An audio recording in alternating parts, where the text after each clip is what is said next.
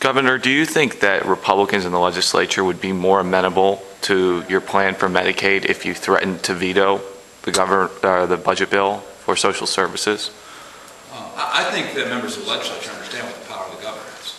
I I don't think you have to give them uh, how a bill becomes a law or what the power of of- of the governor is. Um, I I- was, uh, I was elected to try to bring people together. um, I mean, you see standing here, two people that, that while they are, they are friendly with each other, um, I I wouldn't, I- don't think you would find a, a, uh, a, a I don't want to say anything gets against control either one of them.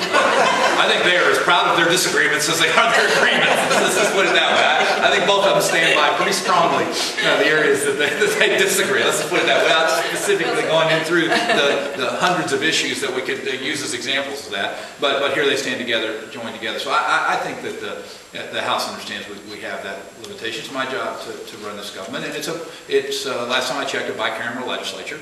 Uh, we do not live in Nebraska uh, which is good on a number of fronts. Um, But um, it's, uh, uh, th- this is a process, we're still in, in- in March, uh, and so I, I, I, I- think that, um, you know, trying to, trying to use, use that as some sort of uh, uh, stunt or or some sort of, uh, you know, play, shall we say, it- it- it's, it's, it- it's below the way that I think about, about the legislative process. I mean, I, I, I engage with the members of the legislature directly, uh, have, have now, I believe, uh, talked to each and every one of them at various times during the year here.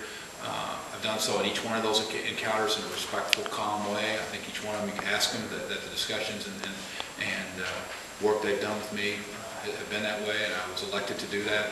Uh, So I don't, uh, I, I don't think it, it helps to we're trying to build civility here. Okay? We, we are trying to, for the people of Missouri, to do what they told us to do, not just me, but these folks here too.